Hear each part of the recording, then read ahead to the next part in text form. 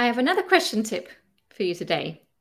Now, did you know your brain remembers the first thing that it hears and the last thing that it hears? Primacy and recency. That means that if you're doing a presentation, you get to the end, then you have the dreaded questions, and maybe the last question was kind of a ridiculous question or a difficult question. People's brains will leave remembering that last question.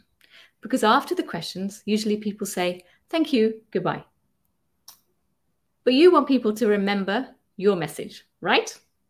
So, what can you do? There's a very, very simple thing. At the end of the questions, before you say thank you, goodbye, repeat your key message.